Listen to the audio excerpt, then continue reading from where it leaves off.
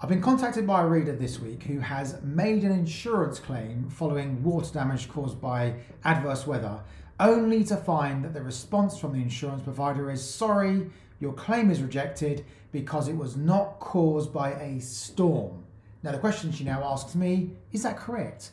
Can the insurer really decline my claim just because it apparently wasn't caused by a storm? And in fact, I should say this her view is it was a storm. Now, the legal position is this. First of all, you would look at what the terms and conditions say of the particular insurance provider.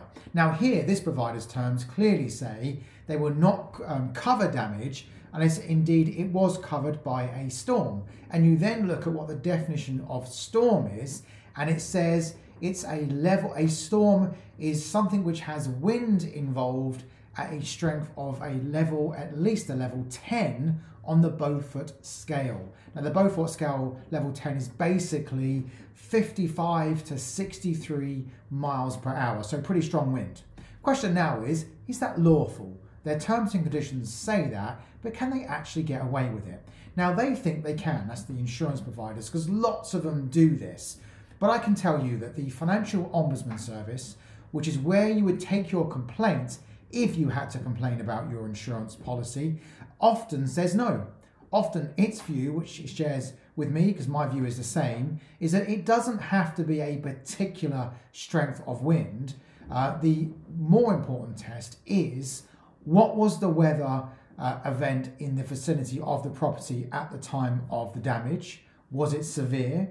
Did that weather actually cause the damage that is now subject of the claim? And finally, uh, were there any other contributing events? So, for example, was it just wear and tear? Are we talking about a house which is hundreds and hundreds of years old with a very, very old roof, and therefore the leak was more down to wear and tear than the storm? Or was there a maintenance issue? So, one of the common ones the insurance companies pick up on is if you had cleared your gutters, it would have the rainwater would have soaked away, the damage would not have been caused. These are the more important things to look at. So what I'm saying is this, you don't just look at was it a storm, was the wind blowing at 50 odd, 60 odd miles per hour? That's too primitive. You look far more beyond that. So when the insurance providers, as in this case, come out and just deny your claim based on the fact that it doesn't meet their definition,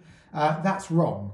Um, if your insurance provider does that, the next thing you should do is go to the Financial Ombudsman Service. And as I say, they will look at um, more questions as I've just outlined. If you take that route, my advice is to do the following. Number one, get evidence online of what the weather was doing on the day that you say the damage was caused. If it was water damage, for example, how hard was it raining? How much water um, was there with the rain? Normally, you'll see this in, in millimeters, for example. If it was due to wind, how windy was it? Get all of the evidence and present that with your claim and make sure that you have shown that the weather was severe and that it was severe in the area around your house.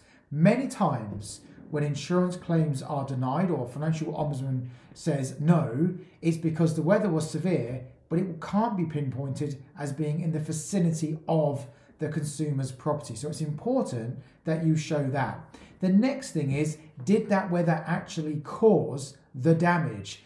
Get some evidence of that as well. Maybe get a local tradesman to come in, have a look, and confirm to you no, that wasn't wear and tear. No, there were no maintenance issues here. Whatever you would have done, this would have been caused because of that weather. If you can get this evidence together, I have no doubt about it, your claim will be successful, whether it's with the insurance company or via a claim to the Financial Ombudsman Service.